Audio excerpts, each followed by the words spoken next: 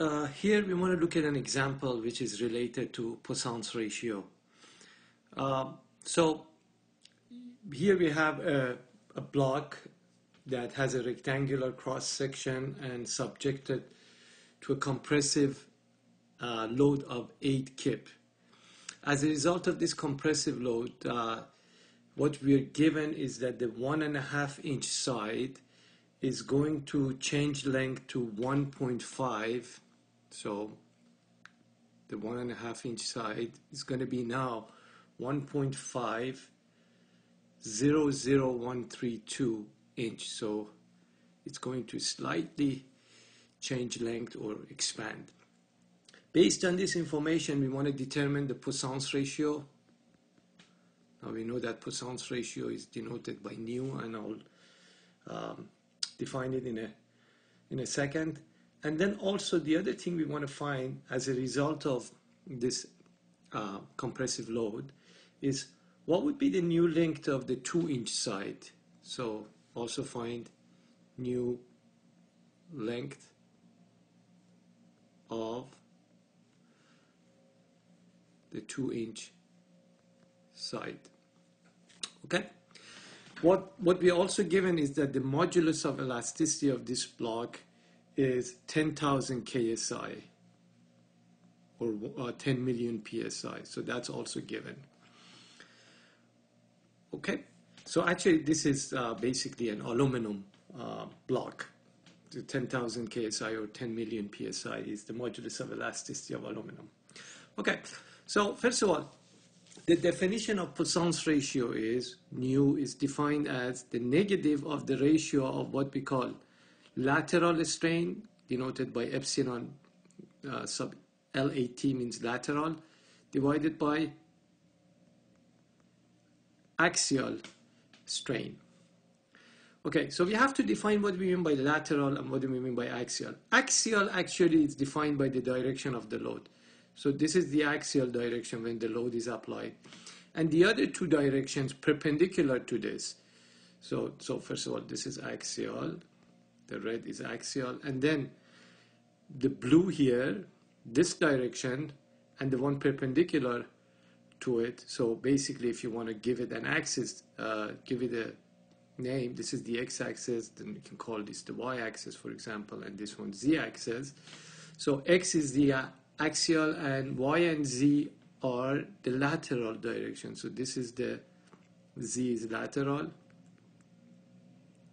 as well as y y is also lateral. Okay, so x is axial, y and z are lateral.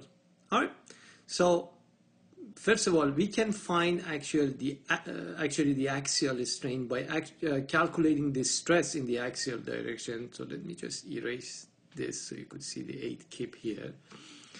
And uh, so in the uh, axial direction, if we go ahead and find sigma, sigma is load divided by area. So the load is 8 kip. We don't even have to change the unit. 8 kip. And the cross-sectional area, as you could see, is this area that is the load is acting. Is so it's a 2 by 1.5. So 2 inch by 1.5 inch. Inch times inch would be inches squared. So kip divided by inches squared would be KSI. So this becomes about 2.667 KSI. Now this is a compressive, so in the uh, notation we have to use negative. Okay, so meaning that in the uh, formulas we, we use this as a negative. So now we know that based on Hooke's law, sigma is equal to E epsilon. So in the axial direction, epsilon axial, which is the direction of the load, would be sigma that I just calculated divided by E. So if I take the 2.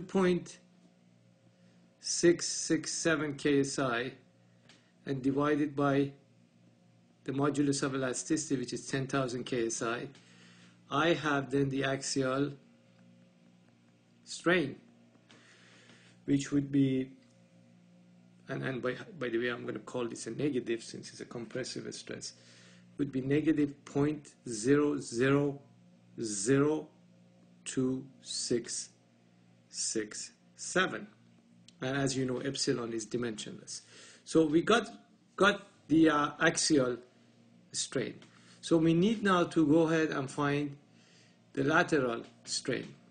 So remember, the lateral strain could be determined based on the, uh, the equation that uh, this is change in length divided by length.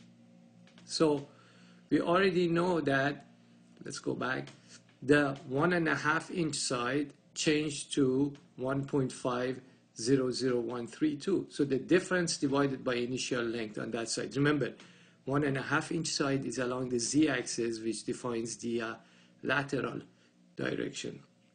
So if we take 1.500132 minus 1.5, that's the change, divided by initial length, which is 1.5, that would be our lateral strain, which would be then 0.000088. Four zeros, eight, eight. So this is the lateral strain. So let's go ahead and calculate the Poisson's ratio. Remember, Poisson's ratio is negative of the lateral strain divided by axial strain. Lateral is the one that we have here, 0.000088, and the uh, uh, axial strain from the last page, it was 0.0002667. It was negative. So negative and negative cancel one another. So this is roughly 0.33, which is consistent with the Poisson's ratio value of the property for aluminum. Now, all we have to do now is to use this lateral strain since um, the two inch side, which is the y-axis, this two inch side, is also the lateral strain, and that's the same lateral strain that we have. So the new length of the 2 inch side would be, it's already 2 inches, so we're going to add to it because it's going to expand. So if you call this edge, the new length of the 2 inch side is 2 inch plus 2 times the lateral strain, which is 0.000088, which is not going to be much as expected. So that would be 2.000176 inch. So that's the new length of the 2 inch side using the same lateral strain obviously.